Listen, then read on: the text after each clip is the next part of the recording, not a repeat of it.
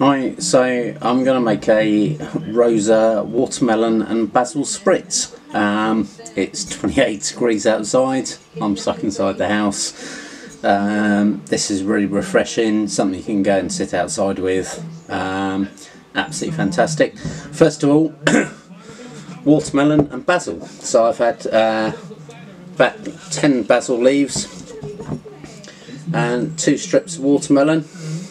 I've cut into small cubes. So literally pop those in there.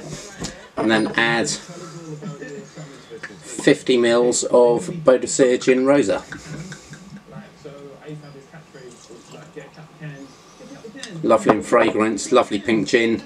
Um, for people who, who like it this is one of the best.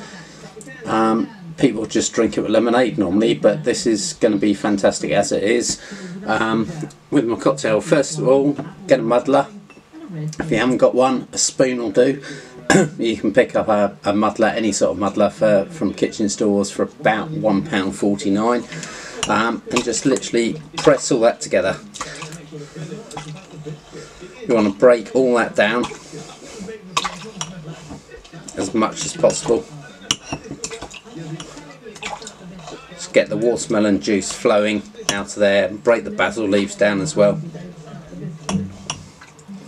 There we go, you can see the colour coming out now.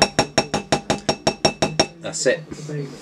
Um, also, um, any sort of watermelon juice, apple and watermelon, I found one is about 50 ml apple and watermelon juice. That's it. Uh, pop some ice in.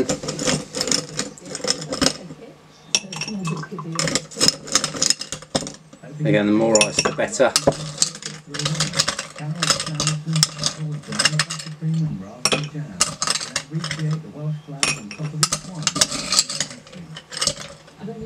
There we go. Literally top up with soda.